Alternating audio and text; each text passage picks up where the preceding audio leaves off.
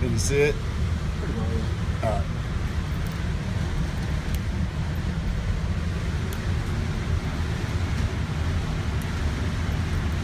Battle of Stalingrad.